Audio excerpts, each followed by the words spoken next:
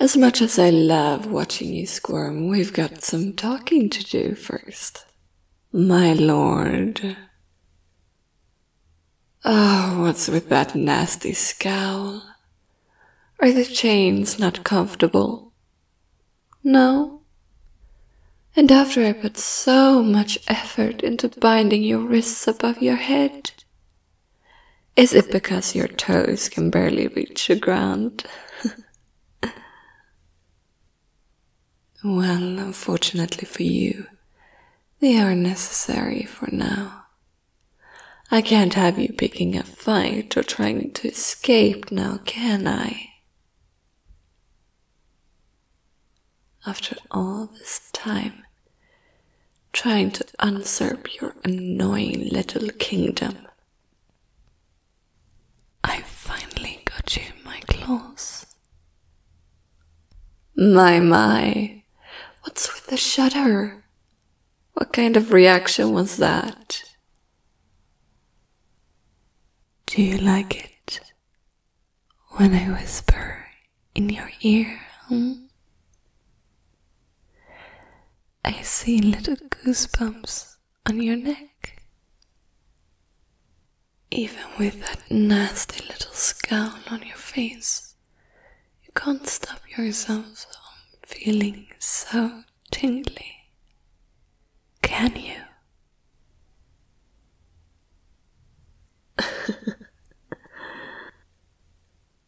How cute, little prince.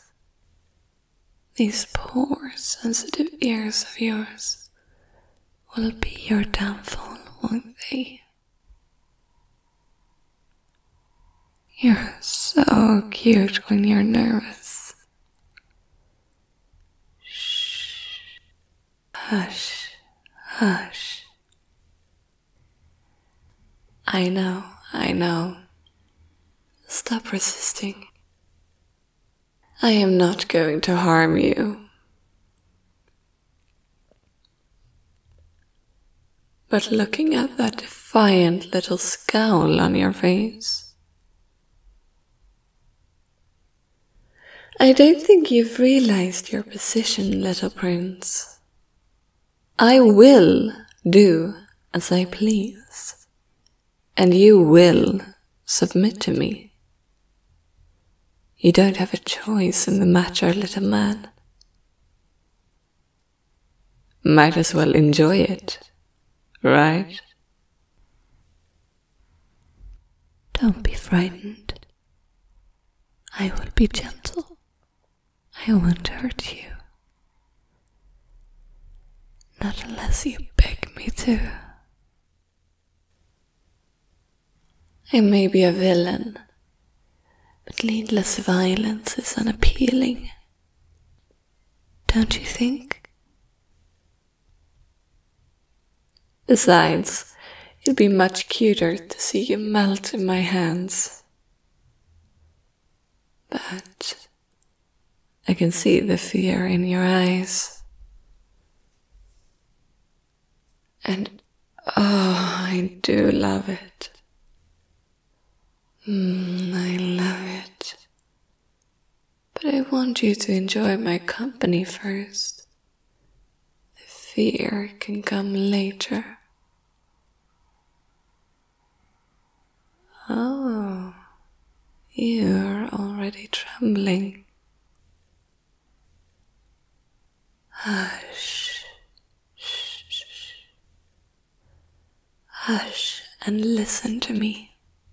Pay attention. First, we have some new rules to establish. Your kingdom belongs to me now. Your castle, your land, your people. And you, my little prince, are all mine. Secondly, you will not speak unless spoken to. Not that that seems to be a problem. You're too frightened for any words, aren't you? If you do speak, you will refer to me as mistress. You will do as I say. You don't really have much of a choice, now do you?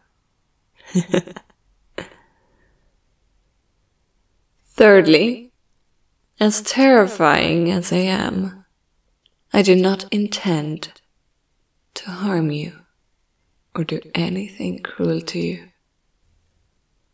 Don't worry, little prince. In exchange for your good behavior, I'll treat you with kindness. I may be a villain, but I'm not as boorish as to stoop as low as a common thug. So, behave for me, little prince, and you'll be well taken care of. I'll see to that. Now, where were we? Right, right. You were trembling. Shh, shh, shh, shh. Hush now. I won't hurt you. Just relax. As long as you behave, I will treat you kindly. But firstly, let me take a look at you.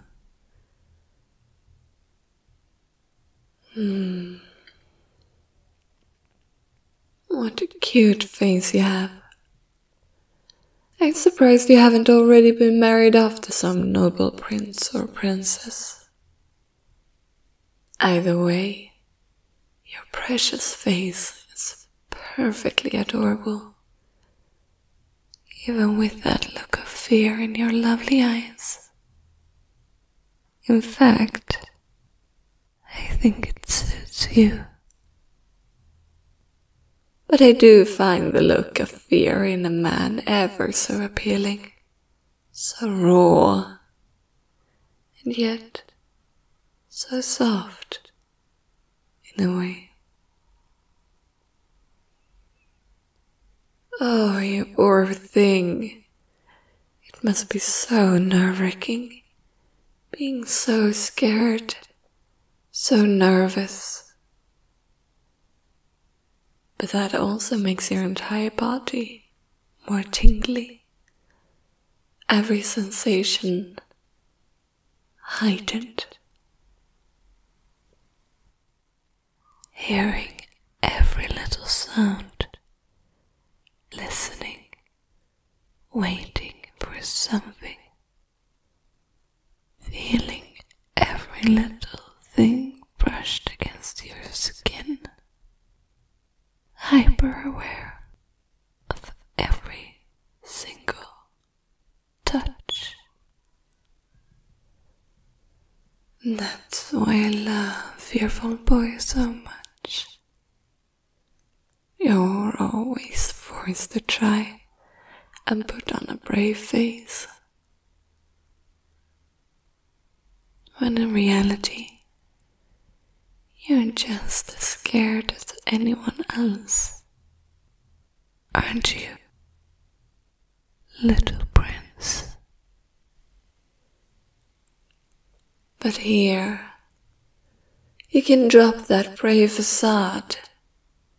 You don't have to wear that pensive, nasty little scowl. Just give in.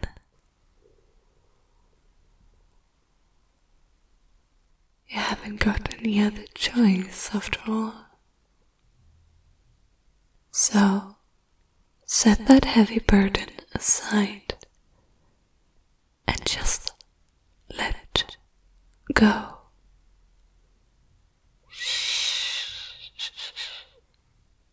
Yes, that's it. Watching you shudder and quiver for me as I graze my nails against your cheek and neck. So good for me. Such sweet whimpers for me. What a good boy. My precious little prince. You sound so cute, you know. And your hair. Every little touch against your soft, pretty hair. Mm. So soft.